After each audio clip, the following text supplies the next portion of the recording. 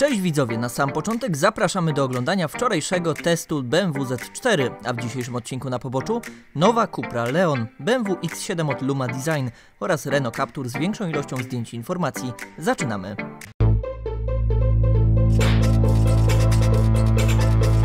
Kiedy świat oczekuje na debiut Porsche 718 Cayman GT4 RS, producent prezentuje specjalną edycję modelu z homologacją drogową o nazwie 718 Cayman GT4 Sports Cup z okazji 15. rocznicy Porsche Sports Cup Germany.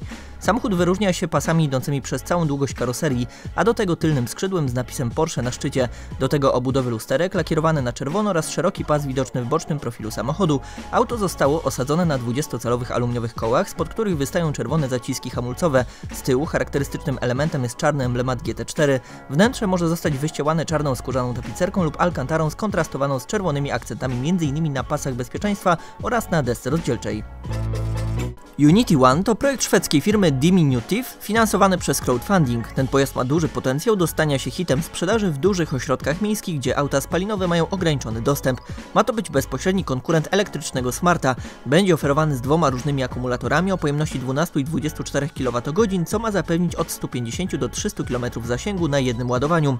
Wyniki udało się osiągnąć dzięki niskiej masie samochodu wynoszącej jedynie 600 kg.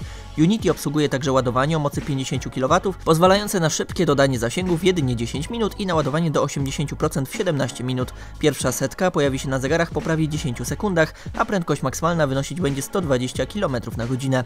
Wnętrze zostało zakomponowane w układzie 1 plus 2, co oznacza, że kierowca siedzi na środku, a za nim są dwa małe fotele. W Wielkiej Brytanii samochód ten będzie kosztować około 75 tysięcy złotych. BMW szykuje się do oficjalnej premiery serii 2 Grand Coupe, która odbędzie się 15 października. Już teraz Bawarczycy pochwalili się jednak zwiastunami zdradzającymi stylistyczne smaczki nowego modelu. Auto będzie bazowało na serii 1, co oznacza przedni napęd oraz inną charakterystykę wyglądu i prowadzenia. Ma to być bezpośredni konkurent dla Mercedesa CLA oraz Audi A3 Sedan.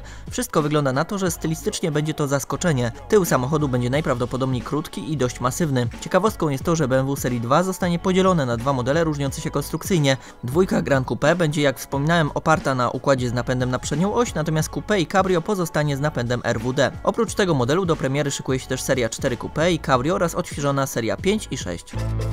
To naprawdę spore zaskoczenie. W sieci pojawiły się dwa zdjęcia prezentujące bardzo dynamicznie stylizowaną nową Toyota Yaris, która oficjalnie ujrzy światło dzienne dopiero za parę dni. Z zewnątrz auto zyskało atrakcyjne linie wyróżniającego z tłumu. Front otrzymał masywną atrapę chłodnicy i wąskie LEDowe światła. Z tyłu pojawił się wyróżnik samochodu, czyli LEDowa listwa świetlna. Nowa Yariska ma bazować na platformie TNGA, co zapewni dużą ilość miejsca we wnętrzu oraz lepsze właściwości jezdne. Możliwym będzie też zastosowanie znów hybrydowego napędu oraz kto wie, może i elektrycznego. Więcej informacji nieco później. Niemiecka firma tuningowa, czyli znana Wam już Luma Design, prezentuje ich najnowszy projekt, czyli BMW X7. Firmie udało się zmodyfikować tego wielkiego SUVa z luksusowego pojazdu z trzema rzędami siedzeń w agresywnie stylizowanego SUVa. Auto przede wszystkim otrzymało pakiet poszerzeń, dzięki czemu szerokość samochodu wzrosła o 50 mm.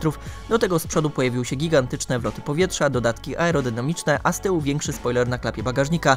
Jakby tego było mało, X7 zostało osadzone na 23-calowych aluminiowych kołach i zyskało nowy układ wydechowy.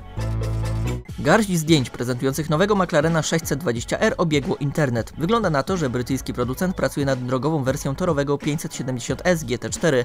Nie ma natomiast żadnych informacji na temat planowanych cen, czy też dużej ilości szczegółów technicznych. Wiele agresywnych dodatków aerodynamicznych zostało zaczerpnięte wprost ze wspomnianej torówki. Na przykład w ich skład wchodzi duże tylne skrzydło, czy przedni zderzak wraz z dokładką. Również zaadoptowany zostanie układ wydechowy i dyfuzor. Auto zostanie pokryte malowaniem kojarzącym się z senną GTR. Kolejnym członkiem elektrycznej rodziny samochodów Audi będzie najwidoczniej e-tron Sportback. Testowy egzemplarz został już przyłapany na drogach publicznych z nieznaczną ilością kamuflażu. Folia pojawiła się jedynie na reflektorach z przodu oraz małej części bocznych przeszkleń. Audi e-tron Sportback to wariant coupe pokazanego już wcześniej elektrycznego SUVa. Jego największym stylistycznym wyróżnikiem jest opadająca linia dachu w sposób zupełnie inny niż ma to miejsce w regularnym e-tronie. O ile przedni pas wygląda bardzo podobnie, o tyle z tyłu można się spodziewać małej rewolucji. W kwestii napędu można się spodziewać dwóch silników dostarczających moc 360 i 408 koni mechanicznych. Przyspieszenie do setki powinno wynosić mniej niż 5,5 sekundy, zasięg 348 km. Renault po wprowadzeniu Zoe nowej generacji pracuje też nad większym modelem elektrycznym, który miałby konkurować z Tesla Model 3 oraz Volkswagenem ID3.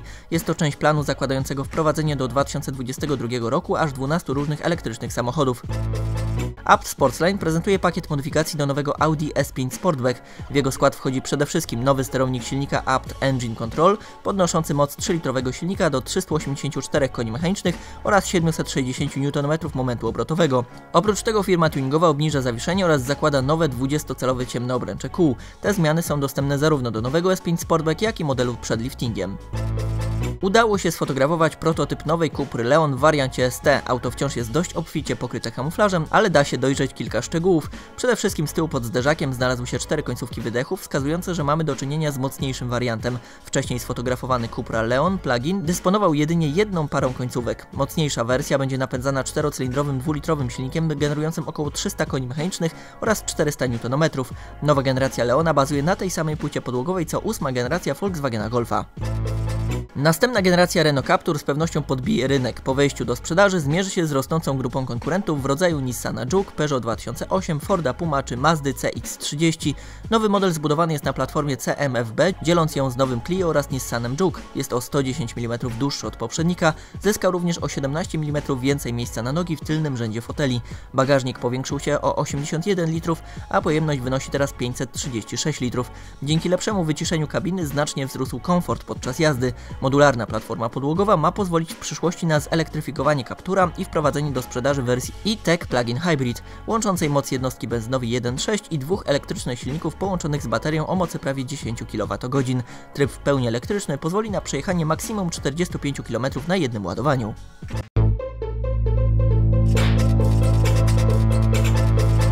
Dziękujemy za Waszą dzisiejszą obecność. Zapraszamy do obejrzenia wczorajszego odcinka z BMW Z4 i oglądamy również jutro rano kolejne na poboczu. Do zobaczenia.